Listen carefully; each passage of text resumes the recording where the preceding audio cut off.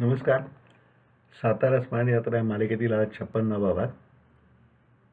माझ्या एका जिंदादल मित्राच्या आठवणी मी शेअर करणार आहे. बालकृष्ण बाली बी के बाली या मित्राच्या.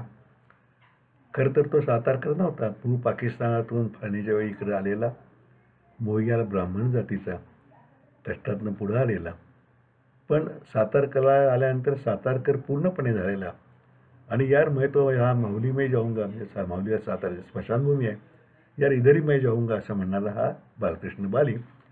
त्याच्या आठवणी मी सांगतो आज बाली जाऊनसुद्धा दहा बारा वर्ष झाली असतील. साधारण पंचवीस तीस चाळीस वर्षापूर्वी गोष्ट आहे. दाखल होणाऱ्या सर्वच इन्कम टॅक्स रिटर्नच्या आकारणे आयकर अधिकाऱ्याने त्या त्या आर सी सीला बोलवून त्याची वही तपासून मग करण्याचा तो काळ होता.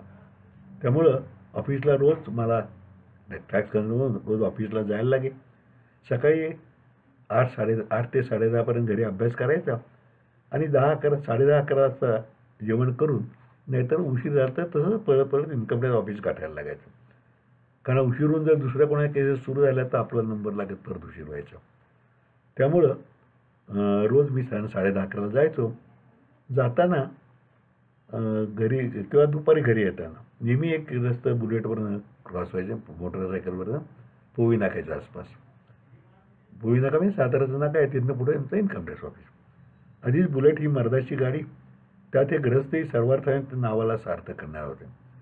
डोक्यावर कुरळ्या केसांचा उलटा पुरळा भांग भव्य कपाळ सरळ नाक त्याखाली बारीक मिशी लाल गोरा रंग सहसा अक्षर त्यामधून हँडल दडकट पडणे पकडणारे दोन पिळदार हात आणि घोड्यावर बसल्याप्रमाणे ताट मान ठेवून रुवाबदारपणे जाणाऱ्या त्या ग्रसाला पाहतानाच पंजाबी सिने नाटाची आठवण व्हायची. आपण मोटरीतून गेलो म्हणजे आपले कर्तृत्व लोकांना कळेल अशी भ्रामक समजू असण्याचे माझं ते वय होतं खरं म्हणजे. त्यातही दर दोन वर्षे नवीन कार आणण्याची खोडी माझ्या डोक्यात बसते ती त्यामुळे मी गाडीत व हे राजबिंडेग्रस्त मोटरसायकलवर असं आमचं ते क्रॉसिंग व्हायचं. त्याच त्याच व्यक्ती पुन्हा पुन्हा दिसत राहिल्या की प्रथम नजरेने ओळख दाखवणं आहे. मग हलकेसं हास्य करणे मग पुढे हात हलवणे असं सुरू होतं. तसं आमचंही हवेतील हाय ह्याला सुरू झाले. प्रत्यक्ष आमची गाठभेट झाली नव्हती. ओळख नव्हती आणि नावाचा पत्ता एकमेकांना माहीत नव्हता. होतं फक्त कुतूहल. पण तो योग सात आठ महिन्यानंतर आला बडियेच्या पेट्रोल पंपावर. मी गाडीत पेट्रोल भरून पैसे द्यायला आत गेलो. तिथं बडिये पंपाचे मालक दादा म्हणजे मोहनराव म्हणजे दादा म्हणायचो म्हणजे दादा बडिये आणि या ग्रस्तांचे काही हास्य न सुरू होते दादाही आगतशील नागपुरी खास त्यामुळे मी गेल्यावर त्यांनी खास नागपूरमध्ये पद्धतीने अरे अनुभव बस ना चहा घेणार ना असं विचारलं. माझ्या उत्तरापूर्वी तिथल्या पोराला चहा आणायला पेटाळलं मला खुर्ची उडून बसण्याच्या गत्यात नव्हती. मी बसल्यावर दादाने विचारलं अरे बालीसाहेबाशी तुझी ओळख असेलच ना? मी नाही म्हटल्यावर हे बी के बाली येथे के आयनमध्ये मॅनेजर आहेत आणि हे आमचे अरुण भाऊ इन्कम टॅक्स सल्लागार अशीने ओळख करून दिली. तोपर्यंत बालींना मराठी साधन यायला लागलं असावं कारण त्यांनी हिंदी मराठी मिश्रणाने बोलायला सुरुवात केली. मी त्याच पद्धतीने जमेल तेवढे हिंदीत बोलत होतो. शाही येईपर्यंत आपण रोज एकमेकांना पाहत होतो पण ओळख नव्हती. आता एकदा परत भेटूया असे बोलणे झाले. मधल्या काळात बालींना हि हिंदी आणि उर्दू साहित्य व काव्यात रस आहे मला समजले. आणि मलाही बऱ्यापैकी हिंदी रचना माहीत असा असाव्यात अशी शंका त्यांच्या मनात दृढ झाली. सहसा अशा भेटी फिरी मिलेंगे जरा फुरसत गपचप करेंगे अशा सवालने पूर्ण होतात व पुढे खरं कोण कोणाला भेटत नाही. पण बालींच्या बाबतीत तसं होणं बहुधा नियतीला मान्य होतं.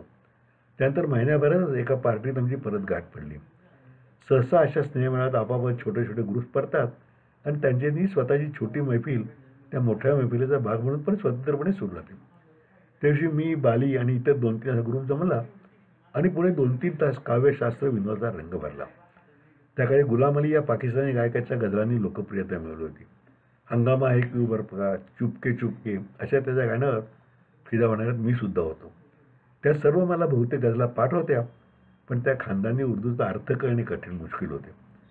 बालिना मात्र त्या पाठ होत्याच पण उर्दूचे तेही ज्ञानी असल्याने त्याचा अर्थ सोप्या हिंदूत सा समजावून सांगण्याची कलाही होती. तो अर्थ त्यांच्याकडून समजल्यावर त्या गजलांची खुमारी आणि सौंदर्य जास्त जाणवायला लागले. ती पार्टी संपली तेव्हा मात्र फिल्म लेंगे या आम्हा दोघांच्या आश्वासनाला निश्चितता होती आणि तसा मैत्रीचा जागाही घट्ट जुळला होता. नंतर मात्र दर महिना सव्वा महिन्याने अशी गाठभेट होत राहिली. कधी चौकात गाठल्यावर उभ्या व्हाव्यात पण कधी कधी हृदय गप्पा कधी एखाद्या पार्टीत कधी बालींच्या घरी तर कधी कुठे तर कधी कुठे. या सगळ्यातून बालींचा जीवनपट त्यांची जीवनदृष्टी हे उलगडत गेलं. मुळातले पाकिस्तानमधले. आणि त्यांचं रसिक मनही हळूहळू जाणवायला लागलं. अनेक रंगीबेरंगी सूत्रांचा सुंदर गोप असावा तसा तो जीवनपट होता. पाकिस्तानात गेलेल्या पंजाब प्रांतातील त्यांचे मोहियाल ब्राह्मणांचे खानदानी श्रीमंत घराणे रम्य बालपण या आठवणीने मृदुमुलायम हळूवार होऊन त्यांचे डोळे भरून यायचे मग कधी यायचा तो फाळणीचा दर्दभरा उल्हास आणि रक्तलांचित उन्मादाच्या दुःखांचा कड. जीव कसा बसा वाचून पाळलेले फाटाफूट झाले कुटुंब. कुटुंब मिळेल ते काम मोलमजुरीत केलेला जीवघणा प्रवास हिमतीने सोसलेले दारिद्र्याचे दुःखद घाव त्यातून अथक मेहनत आणि जिद्द यांच्या बळावर दारिद्र्यावर आणि परिस्थितीवर केली मात. आणि उत्तर भारतातील गावे करीत करीत मुंबई शिरावणे आणि मग तिथून शाहूनगरीत म्हणजे साताऱ्यात आगमन या सगळ्यातून बालिका प्राप्त झाले होते ते मुक्त मन. मोकळा स्वभाव अगत्य आणि काहीशी बेदरकार निधडी वृत्ती आणि परमार्थी साधकांनाही हे वाटावी अशी स्थितप्रज्ञता. या सगळ्यांच्या जोडीला काव्यशास्त्र विनोदी शिदोरी त्यांना सतत उत्साह देणं होती. पुढच्या क्षणी काय होणार? आपण जगणार की मरणार? अशा मृत्यू शाळेतील प्रवासामुळे मृत्यूचे भय त्यांना स्पर्श करू शकत नसायचे. ते साताऱ्यात आल्यावर इथल्या मातीने आणि माणसाने त्यांना विलक्षण लढा लावला आणि ते पक्के सातारकर झाले. होते रंग भरल्या मैफलीत कधी मृत्यूचा विषय निघाला की ते असं म्हणायचे मैंने जन्म तो पंजाब में लिया अब तो पाकिस्तान में है वो. लेकिन मेरा अंतिम संस्कार तो रहा होगा माऊली में. मी साताराजवळ हिंदू आणि मुस्लिम या दोन्ही धर्माबद्दल त्यांना प्रगाढ ज्ञान होते. चित्रगुप्तासमोर जेव्हा भल्याबुऱ्यांचा हिशोब द्यायचा असेल आहे असे सांगण्यावाली एखाद दिवशी जब आएगा रोजे हसर तो मुनकरवर नक्की को मेरा हिसाब किताब करणं आहे म्हणजे मुस्लिम धर्मानुसार मृत्यूनंतर ज्ञानदानाचा दिवस आपल्याकडे जर चित्रगुप्त म्हणतो असं मुस्लिम धर्मामध्ये मुनकर आणि नकीर हे दोघं हिशोबनीस हिशोबनीस संत पाप आणि पुण्य यांचा हिशोब करून तो अल्ला ताला जरा असा संकेत आहे असे बोलून जाईल आणि मग एका प्रसिद्ध शायराच्या दोन पंक्ती सुनवायचे. आपला न्याय व्हायला आपण समोर गेल्यानंतर मुडकीराने विचार नकीरजी विचारलं की मग त्याला काय उत्तर मिळेल अशा त्या दोन पंक्ती होत्या. की ते विचारले की इतकं पाप तू कसं केलंस? असं त्या आणि त्याला आपण काय उत्तर देऊ अशा त्या दोन पंक्ती होत्या. मूळ उर्दू अशा होत्या. और मुठ्ठीभर मिल गया अंबार में तो क्या लिख दो गुन्हा एक हल्क मेरे हिसाब में माझ्या पापाच्या डोंगरात एखादे मुठभर गुन्हे मिसळले तर काय फरक पडणार आहे? सर्व सगळ्या विश्वाचे गुन्हे माझ्या खात्यात लिहून टाक. और मुठ्ठीभर मिल गयात अंबार मी तो क्या असं त्याचा अर्थ होता. उर्दू पंजाबी हिंदी इंग्रजी या सर्व भाषावर बालींचं फार प्रभुत्व होतं. पण त्याहीपेक्षा त्यातील उत्तमोत्तम कविता शेरोशायरी उतारे विनोद पाठी होते. असे पाठांतर करू म्हणून कधी होत नाही. तर जे हृदयात जाऊन बसते ते आपोआप पाठ होते. त्यांच्या अभिजात रसिकतेमुळे तिथे काव्य त्यांच्या ऐकायला साथ देत ओठावर यायचे. क्वचित एखादी मधली ओळ आठवली नाही की अस्वस्थ व्हायचे. आम्ही मित्रांनी पापाजी वो छोड़ के आगे बताओ असं म्हणले की नाही नाही ये कैसा हो सकता है? सुंदर मुहूर्त हो तो उसका एक हात के बिगरी कैसे देख सकोगे? असं म्हणून उठून पुस्तक शोधायचे. ते पान उघडून अर्ध्या भिंगांचा चष्मा नाकावर ठेवून ती ओळ वाचायचे. आणि मगच पुस्तक बंद करून पुढली काव्यपंक्ती ऐकत राहायचे. त्यांच्या सहवासामुळे गालिब मीर जफर असे महाकवी अब्रोसारखा पंजाबी कवी गुलाम अली अजीज नाझा अशांनी गायलेल्या गजला या सगळ्यांचा आनंद अर्थासकट भरभरून लुटता आला. त्या तुटपुंजा शिदोरीच्यावर त्या तुटपुंजा शिदोरीवर गप्पांच्या अनेक मैफलीत मला या सगळ्यात जाण असणारा असा मुखवटा धारण करता आला. त्यांच्या स्वतः साखरी खरं म्हणजे नव्हतीच. त्यामुळे नोकऱ्या बदलत गेल्या पण आमची मैत्री शाबूत राहिली. त्यांची पत्नी म्हणजे सुनील दत्त यांची सख्खी बहीण जे ज्येष्ठ प्रसिद्ध अभिनेते सुनील दत्त होते त्यांची सख्खी बहीण म्हणजे बालींची बायको. म्हणजे आजचे संजय दत्त आहेत त्यांची ती आत्या. आम्ही त्यांना भावी म्हणायचो. आणि त्याही आमचा अतिशय प्रेमानं खाऊ पिऊ घालायच्या. हे नाते एखाद्याने सतत सांगत आपला रुबाब दाखवला असता कोणी दाखवला असता कारण नरगिस त्याची बायको सुनील हे दोघंही त्या काळच्या अतिशय प्रसिद्ध नट आणि अभिनेत्री होत्या. पण बालींच्या तोंडात ते नाते कधी यायचे नाही हर कोई आपल्या आपल्या जगात दुरुस्त आहे अशी त्यांची भावना असायची. फक्त कधी कधी नरगिसचे जीवघेणे आजारपण संजय दत्तचं तरुणपणचं वेगळं विचित्र वागणं अशा वेळी अरे यार बेचारा सुनील भूत परेशान आहे असा संदर्भ याचा भाभी त्याच स्वभावाच्या आणि अगत्यशील त्यांच्या घरी गेल्यावर भाभींचा आग्रह म्हणणे अशक्य असायचे? त्या स्वतः गरम गरम फुलके आणि दाल तडका. हां पिलीवाली असं म्हणून स्वतः वाढायच्या. बालींच्या भाषेत उम्र का तकाच्या वाढते वय त्यांना जाणवायला लागले होते. जान से प्यारी जवानी चली गई मौत से बत्तर बुढ़ापा आ गया यार मैं अब तो बुढा हो गया असे ते असंच सांगायला लागले. पण त्याच वयांना पुढे लेकिन दिल अभी जेव्हा आहे अशी जोड द्यायचे.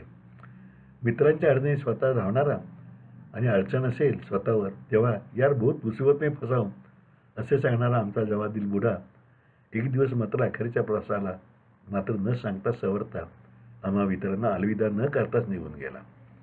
मला खात्री आहे तो तरी हसमुखा सांगेल लिख दो गुन्हा खलक मेरे हिसाब में. खरं तर त्यांच्या इतक्या उर्दू आम्ही शिकलो की पुढं मी राम रहीम या माझ्या सिनेमाकरता एक उर्दू गझल लिहिली. त्या सगळ्या बालींनी आमच्याकडे दिलेला ठेवा उपयोगी पडला. आणि म्हणजे आता काय सांगायला हरकत नाही की त्यांच्यातल्या कित्येक गोष्टी आम्ही तेव्हा काही लिहून ठेवायचो काही आठवून राहायचो. त्याचा उपयोग झाला. आणि पुढेही केवळ कुठले उर्दू काव्याचा घेता बरंचसं बालीने सांगितलं आमच्या मनाला. एक मला आठ रचना आठवते एका कुठल्या तरी बादशानी एक स्पर्धा ठेवली ती आपण ते म्हणतो अंताक्षरी टाईप की काफर आहे जो काफिर आहे वो काफिर आहे वो जो मानता नाही इस्लाम को. अशी स्पर्धा ठेवून एका हिंदू कवीला ते चॅलेंज घ्यायला लावलं. तर आता बालींनी सांगितलेलं आहे की म्हणे मग त्याला काय त्या हिंदू कवींनी त्याला उत्तर दिलं की ही ओट आणायची पण आपला हिंदू धर्मही जागवायचा कारण तसं पाणी पाळणीनं पोललेले होते ना पाळणीमुळे. ते म्हणले त्या कवीनं अशी एक ओढ असते पहिली. घुंगूर वाले बाल है मेरे घनश्याम के। काफिर है वो जो मानता नाही इस्लाम को। तर आम्हाला काही कळलं नाही की इस्लाम को म्हणजे काय? म्हणा तो इस्लाम कोण म्हणणार नाही नाही इस्लाम को दोन शब्द वेगळे आहेत म्हणले। काफिर आहे बाल हे मेरे घनश्याम के माझ्या कृष्णाचे बाल। कुळे आहेत किस कुळे आहेत। काफिर आहे जो काफिर आहे वो जो मानता नाही इस्लाम को। म्हणजे या केसांना ज्या खुल्या केसांना जो मानत नाही तो काफीर आहे असा त्याचा अर्थ आहे म्हणे. फार गमतीशीर बाली मनुष्य होता. त्या गमतीनं काही काही वेळा म्हणायची चेष्टा मस्करी अशा गप्पा नेहमी थोड्याशा काय म्हणू ज्याला आपण गावठी भाषेवर उतरता. बुढे म्हातारपणचा उल्लेख आला म्हणायचे अरे क्या जमाना था. जब जवान थे तो पिशाब करते थे तो चीटे मुंह पे आती थी. बुढ़ापा गया है तो पिशाब करते हो जूते भीगते हैं. ज्या आलेल्या प्रत्येक गोष्टीचा आनंद घ्यायचा असा दिलदार स्वभावाचा बाली होता. त्यांच्या स्वभावाचा उल्लेख करणारी कविता अब्रुल नावाच्या पंजाबी कवितेने लिहिली होती सालगिरा नावाची. त्यांनी आम्हाला अनेक वेळा ती मैफिलीत ऐकवली. मी तिचे मराठी स्वैर रूपांतर केलं वाढदिवस नावाने आणि पुढच्या मैफिलीत त्यांना ऐकवली. त्यांनी समरसून दाद दिली.